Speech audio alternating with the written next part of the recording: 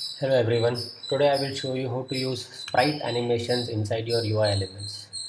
To get started with, we first we need to create a project. So I'm using Unity 2019.1.1 F1. So you can pick any version you like. The first thing we need is a sprite sheet that has the frames to be played in the animation. So I've already downloaded one animation frame. So we'll just import that in the project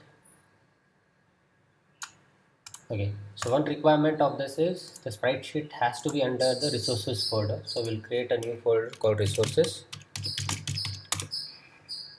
and move the texture under that folder.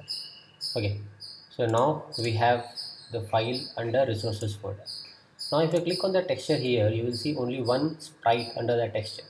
What we but instead if you see this image it has a lot of frames. So we need to tell unity that this texture is a sprite sheet so the way we inform you to do that is click on the texture here. In sprite mode instead of single click on multiple and hit apply. Once you do that see the sprite sheet has gone now. So we need to tell how many now we have to pick the sprite the frames. So click on sprite editor click on slice use the type as automatic and hit slice once you do that you will see all the sprites have been extracted from one texture. Hit apply and close this. Once you go back now you will see all these frames. So this texture has totally 24 frames of animations. You will see this here in the inspector one by one. Okay so now we have our sprite sheet ready with all the frames. The next thing that we need to do is create an image. So let me start from scratch. So create an image. Let's set it in the center of the screen. Okay. So we have an image now. We will be playing all our sprite animations on this image. So next step is to create a script that will play your animation. So create a script. Let's call it as sprite anim. Okay. Now open it the first thing we need to do is we need to have a reference to the image. So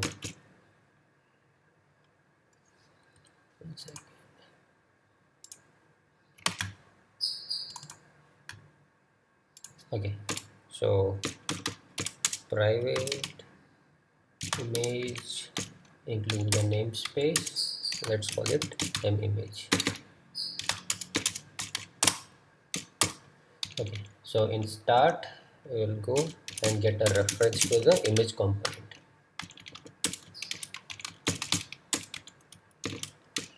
Okay. So now we have a reference to our image. The next thing we need to do is load the sprite sheet so let's create a function called load sprite sheet. Okay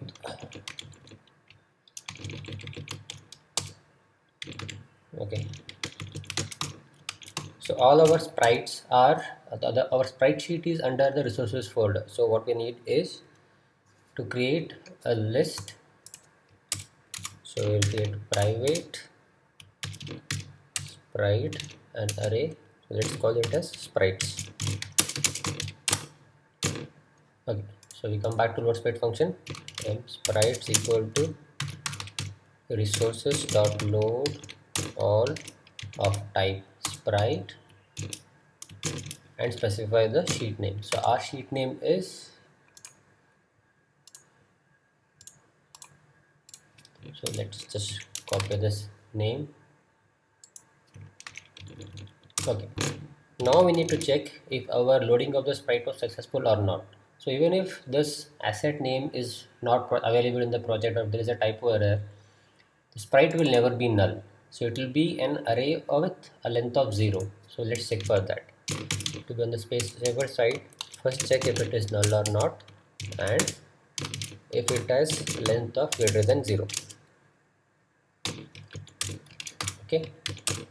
Else we will just throw an error. Log error failed to load sprite sheet. Okay so now our sprites if we are here that means our sprite are loaded. The next thing we need to know is how many what is the uh, speed with which we are playing the animation. So let's expose some variables for it. So let's make it public.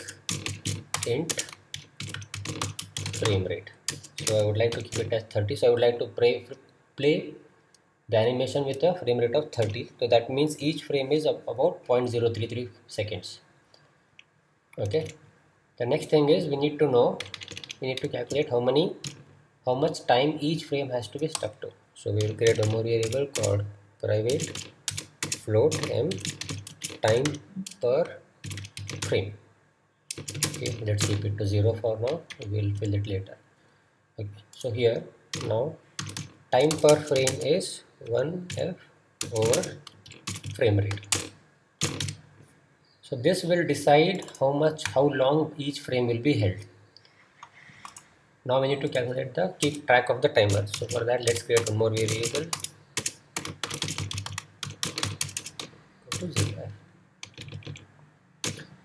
Okay.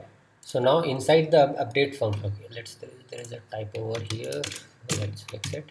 Okay inside the update function we will say elapsed time plus equals time dot delta time so if our elapsed time is greater than or equal to time per frame we need to move to the next frame. So for that we need to, keep track of how many frames we have and which currently which frame we are drawing. So let's create one more variable. Private this will be an integer and current index or you can let's call it current frame. So we start from 0 by default. So if we are here then current frame.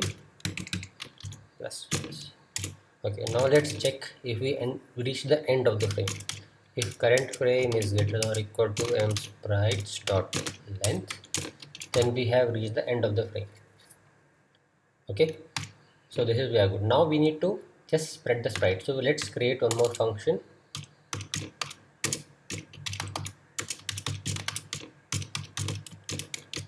Set sprite so here we will just apply the sprite from the sprite list.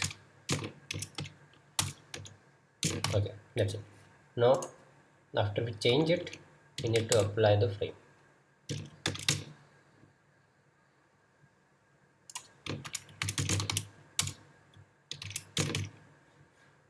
Okay. And just make sure that we are within well within ranges here so if m current frame is greater than or equal to 0 and, and, and current frame is less than the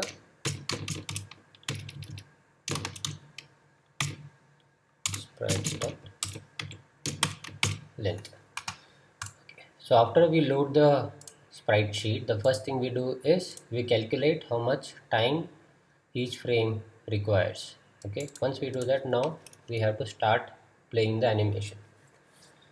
So let's keep this disabled by default. Now we create a function called play. Let's call it and it has to be public void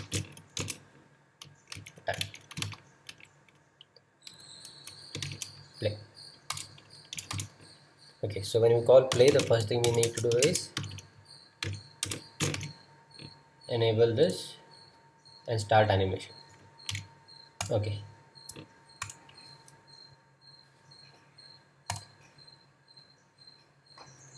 Once we reach end we just disable the script. Okay. Now let's see how it works. So we have an image over here now apply attach the newly created script to this. Now hit run. Now so the animation played but it played really fast so we couldn't see it. So let's add one more variable that will control our animation speed. Let's call it as public float equals 1 the default value will be 1 so we will apply we will just multiply this value with the delta time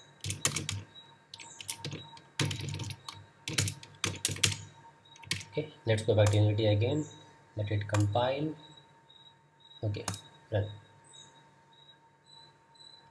Okay so it is playing now let's reduce the speed to just 0.1 if you see now you can see the animation going much smaller than now okay let's add a looping option.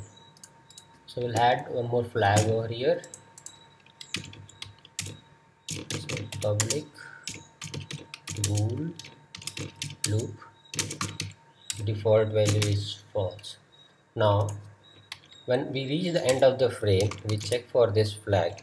If looping is enabled then we set the current frame back to zero.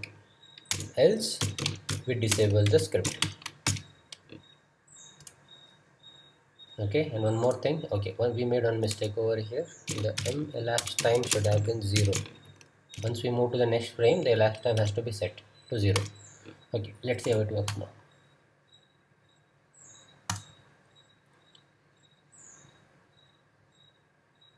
Okay so this is really slow.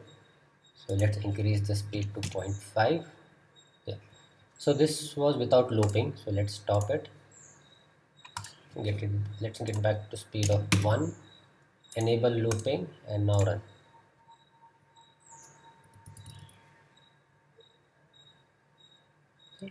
Now it is looping. So this is all you need to do to get the UI animations inside sprite animations inside the UI so by default this is white text. Instead of that you can just do this drag and drop one of them so this is your first frame from which you start the animation. Okay. So hope you guys like it. Thank you